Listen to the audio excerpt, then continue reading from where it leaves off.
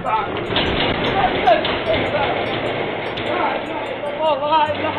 لا إله إلا الله. لا إله إلا الله. محمد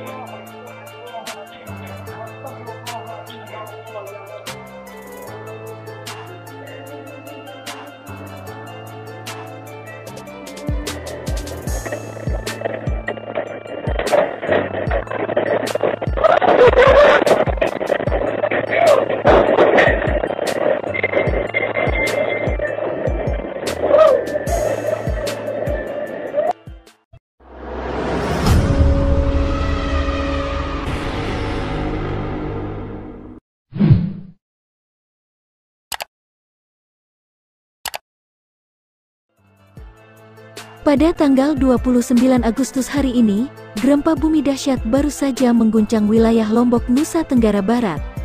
Gempa bermagnitudo 6,5 itu baru saja mengguncang wilayah Lombok Utara pada pagi hari.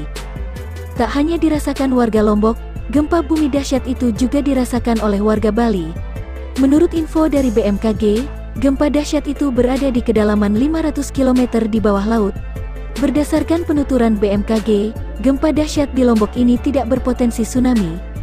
Meski memiliki guncangan dahsyat, BMKG menghimbau agar masyarakat tetap tenang dan tidak panik.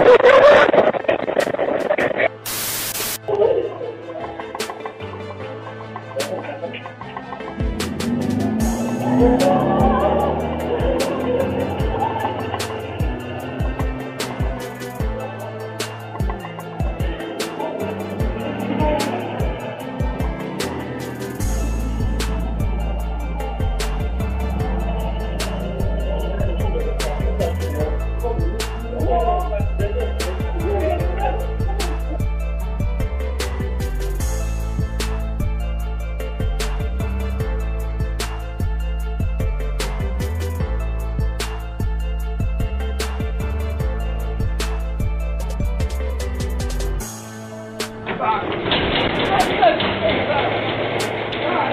الا الله لا اله الا الله لا اله الا الله